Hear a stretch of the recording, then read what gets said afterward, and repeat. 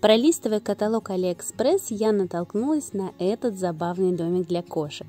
Стоит он 2000 рублей без доставки. Поэтому я решила попробовать сшить его самостоятельно. А получится ли у меня сэкономить, узнаете в конце ролика. Итак, шить буду из флиса. Я купила плед размером 130 на 180 сантиметров. Он оказался тонковат, Поэтому в следующий раз я бы подложила внутрь слой синтепона, либо приобрела более плотную ткань. А пока перенесемся на чертеж. Покажу, как сделать выкройку. Плед складываю пополам, измеряю получившуюся ширину, у меня это 88 сантиметров. От угла по линии сгиба влево отмеряю эти самые 88 сантиметров – и от полученной точки веду метр к боковой стороне до тех пор, пока не получу нужную длину. Далее от верхней точки делаю для себя несколько меток, которые потом соединяю. Должен получиться конус. Ткань для удобства скрепляю булавками и вырезаю.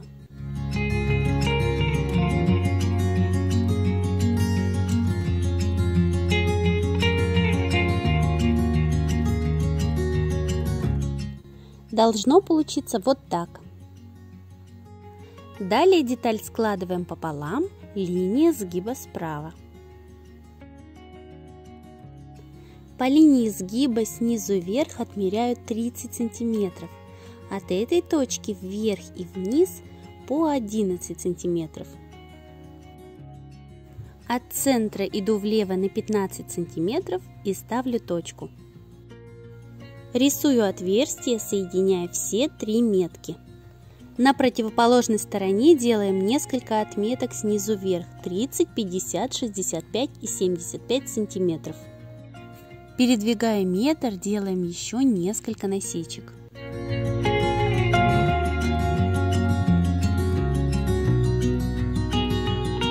Соединяем точки между собой.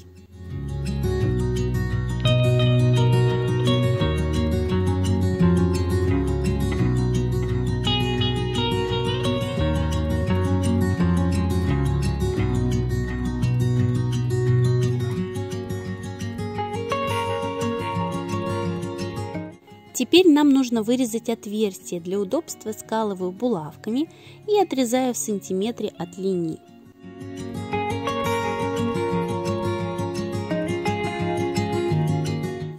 Разворачиваем наше изделие и делаем два небольших надреза, не доходя до линии, что позволит нам аккуратно подвернуть линию среза.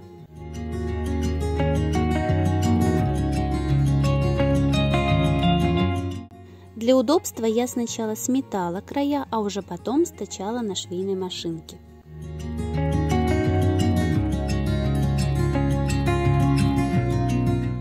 На второй половине изделия продолжаю линии, нарисованные на первой.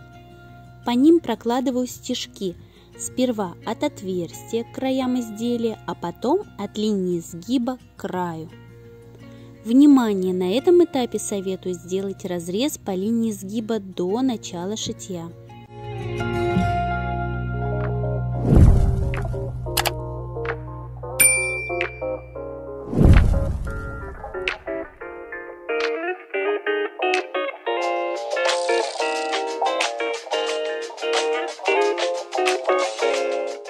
Теперь нам нужно измерить длину по нижнему краю – у меня получилось 194 сантиметра.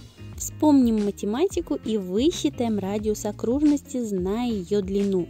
Именно такого радиуса будет дно нашего домика. Так как коричневого пледа мне не хватило, дно буду шить из желтого флиса.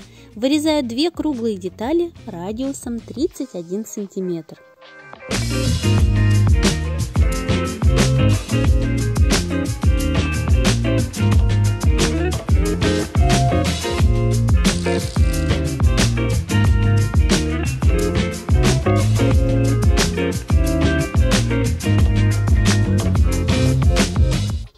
В качестве наполнителя дна буду использовать синтепон толщиной 1,5 см в три слоя. Его подгоняю под размер дна.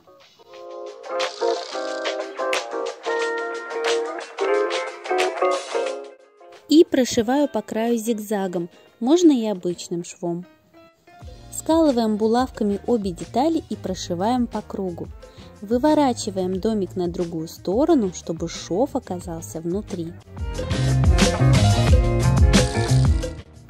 Полученные ячейки будем заполнять синтепухом, но не торопитесь этого делать, как я. Сперва советую прошить на швейной машинке два внутренних края. Сделать это нужно от низа до самого верха. Я этого не сделала сразу, поэтому пришлось шить вручную. А вот теперь можно приступить к наполнению. Ну и в самом конце зашьем все отверстия. Делать это будем с помощью потайного шва.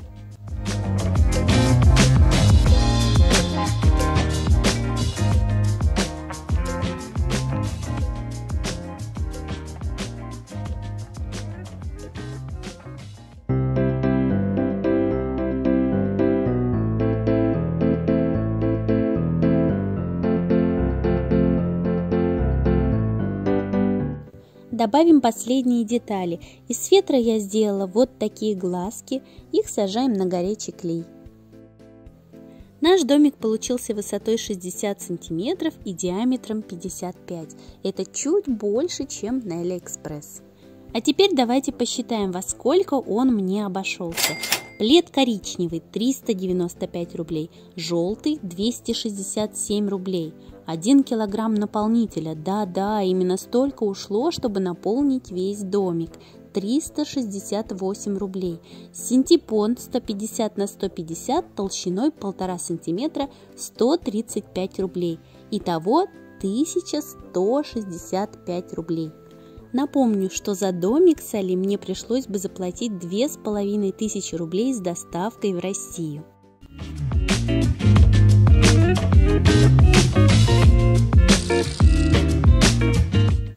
Спасибо за просмотр и до скорых встреч! thank you